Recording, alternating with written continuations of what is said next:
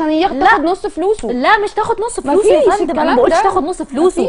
هو طيب جاي يتجوزها هو جاي يتجوزها ما بيديهاش حقوقها هلا نحن جبنا طيب. سيره الراجل آه. أنا حأسألك بقى يا نهلة أنت بتعتبري الراجل اللي بيتجوز على مراته خاين ولا مضحوك عليه ولا فعلا حب لا علشان ما ممكن جدا إنه هو ممكن جدا هقول لك. على حاجة أنا يعني ممكن اكون يعني مع إن أنا ما, ما بحبش إن أنا أجي مع الرجالة كتير وكل الناس عارفة جدا ان أنا متحيزة للمرأة بصفة يعني فظيعة؟ كلنا متحيزين بس هقول لك على حاجة إن في حالات كتير جدا للزوجة الأولى بعد ما بتبقى مثلا في الأول مدية الانبهار للراجل وإن هي متفرغة له ومدية حياته كل الحياة كلها وبعد ليه. الجواز. وبعد الجواز بعد أول بيبي بتتشغل بعد تاني بيبي ما بتبقاش موجودة فبيبتدي الراجل يجي له زي صدمة هي فين الست دي فبتبتدي غصب عنه يدور على الست دي بره البيت فلما بيدور عليها كمان ما يقول يقول للزوجة. الأولى عشان خاطر لو هي كمان عايزة تتطلق وتشوف يمكن حد أحسن منها ما هو ما, why not يعني ما انت يا حسناء بتكلميني على القانون عايزة أقول لك إن القانون دلوقتي إن لازم إعلان الزوجة الأولى